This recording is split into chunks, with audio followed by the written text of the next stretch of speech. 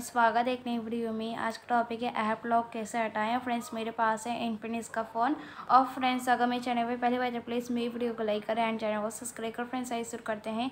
सबसे पहले आपको सेटिंग का ओपन करना है। सेटिंग को पहले आपको दिखा देती कि ऐप लॉक मेरे भी सेट है। देख सकते हैं यूट्यूब पर आपको दिखा देती हूँ। यहाँ पर मेरा ऐप लॉक सेट है, देख सकते हैं। तो इन्हें कैसे हटाएँगे वो बता रही है। तो सेटिंग का ओपन करेंगे आप। सेटिंग का ओपन करने के बाद आपको सिक्योरिटी पे क्लिक करना होगा।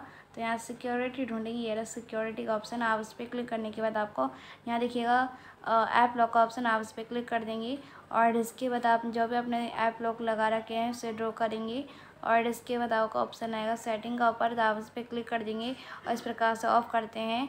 तो आपका अदर ऑप्शन आता है टर्न ऑफ़ तो आप उस पर क्लिक कर देंगे और आपका ऐप लॉक हट चुका है। एंड इस पर क्लिक करते हैं तो फिर आपका सेट करने का ऑप्शन आता है। फिर से सेट इस प्रकार से कर देंगे तो आपका सेट हो जाता है। तो सेट हो जाएगा तो इधर नेम आता है ऑप्शन नाम डालने का।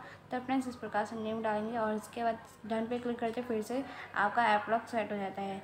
एंड इस पर क्लिक करते हैं तो आपका जो आप, हटाना चाहते हो हटा सकते हैं।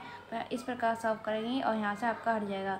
तो फ्रेंड्स इस प्रकार से आप अपने फ़ोन में ऐप लॉक को हटा सकते हैं। यूट्यूब को ओपन करते हैं, देख सकते हैं। यूट्यूब से आपका ऐप लॉक हट चुका है।